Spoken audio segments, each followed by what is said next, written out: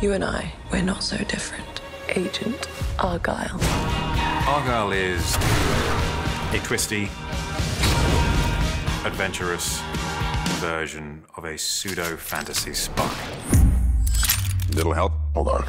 Being able to play directly to camera in a comedic way is lots of fun. I have it all under control. It's called reality, but it's Matthew Vaughn, so it's a heightened reality. It was just refreshing to see something new. It's going to be fun. It's going to be slightly mad. And it's going to be bold. Watch this.